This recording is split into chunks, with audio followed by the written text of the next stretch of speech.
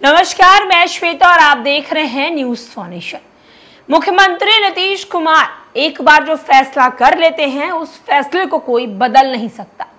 मुख्यमंत्री नीतीश कुमार एक बार जो सोच लेते हैं, वो फिर वो करके रहते हैं, चाहे कुछ भी हो जाए। दरअसल हम आपको बता दें कि बिहार में कुछ दिन पहले मानसून सत्र शुरू हुआ था। बिहार विधानमंडल का एक हफ़्ते के लिए मानसून सत्र चला था और इस सत्र में कई चीज़ों को लेकर बिहार सरकार ने जानकारी दी थी।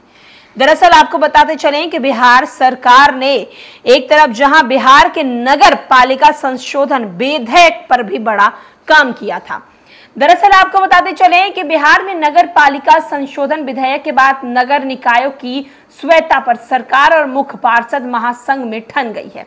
नगर विकास मंत्री नितिन नवी ने कहा है कि निकायों की स्वेता कम नहीं होनी जाए, होनी चाहिए। वहीं बिहार के राज्य मुख्य पार्षद महासंघ के मंत्री के साथ हुई वार्ता को विफल बताते हुए अधिकारियों की लड़ाई जारी रखने का ऐलान किया है। दरअसल स्वेता पर हमले को लेकर निकायों की आपत्ति के बीच नगर विकास के मंत्री ने बुधवार को विभाग के सभागार में प्रेस कॉन्फ्रेंस किया था। उन्होंने कहा कि मंगलवार को विकास भवन की कई नगर पालिकाओं के महापौर और नगर परिषद के सदस्यों के साथ चर्चा हुई है। उन्होंने अपनी मांग रखी है। कई तरह के विचार साझा किए हैं। उनकी मांग पर सकारात्मक रूप से विचार किया जा रहा है।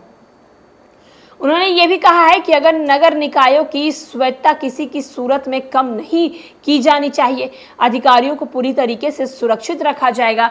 जो आपत्तियाँ आएँगी, उस पर जल्द ही निर्णय लिया जाएगा। उन्होंने कहा है कि राज्य की नीति में एक रूपता लाने के लिए संशोधन किया गया है। ठोस कचरा प्रबंधन जैसे मुद्दे को क्लस्टर बनाने जैसे मामले बिना संशोधन जो है वो संभव नहीं है। निकायों में जनप्रतिनिधि ही सारे फैसले लेंगे। विभाग के प्रधान सचिव आनंद किशोर भी मौजूद थे। सभा के दौरान पटना के मेयर सीता साहू ने कहा है कि इसके खिलाफ हमारी लड़ाई सड़क पर धरना प्रदर्शन करने के साथ न्यायालय में अभी भी कानून को रद्द करने के लिए चुनौती दी जाएगी। भैया, नगर परिषद के मुख्य पार्षद सचिन कुमार गुप्ता ने कहा है कि कानून को किसी भी कीमत पर लागू नहीं होने दिया जाएगा। मुंगेर नगर निगम के मेयर कुमकुम देवी और मुजफ्फरपुर नगर परिषद की मेयर निर्मला साहू ने कहा है कि नगर अध्यक्ष के कार्य और दायित्व के निर्वहन में कार्यपालक, पदाधिकारी, अंदरूनी हस्तक्षेप और प्रस्ताव को मनवाने तरीके से सुविधा अनुसार लागू करना बंद करें। नगर पालिका संशोधन विधेयक 2024 के विरोध में राज्य के दो सौ इकसठ निकायों के मुख्य पार्षद बुधवार को पटना में जुटे थे। बिहार मुख्य पार्षद महासंघ बैनर तले विधापति भवन के प्रतिकारी सभा का आयोजन किया। इसमें संशोधन वापस लेकर जमकर नारेबाजी की सड़क से न्यायालय तक की लड़ाई लड़ने का ऐलान किया। साथ ही कहा कि मंत्री के आश्वासन से महासंघ संतुष्ट नहीं है। सभा के संघ के नए अध्यक्ष के तौर पर पटना मेयर सीता साहू को ज़िम्मेदारी सौंपी गई है। इस लड़ाई को आगे ले जाने का निर्णय लिया गया है। विरोधों के लिए एक संचार समिति का गठन किया गया है।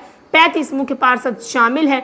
सभा की अध्यक्षता अरवल नगर परिषद के अध्यक्ष रमाकांत कुमार टुन्नू ने की है।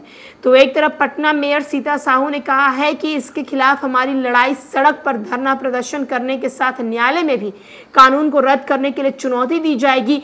किसी भी सूरत में हम ये चीज़ को बर्दाश्त नहीं करेंगे। तो एक तरफ़ नगर पालिका संशोधन विधेयक पर नीतीश सरकार और पार्षद अब आमने सामने हो गए हैं और मंत्री नितिन नवीन ने आश्वासन दिया है कि इस पर वो जो है वो बात करेंगे और उनके साथ अन्याय नहीं होने देंगे। फ़िलहाल के लिए इस अपडेट में इतना ही।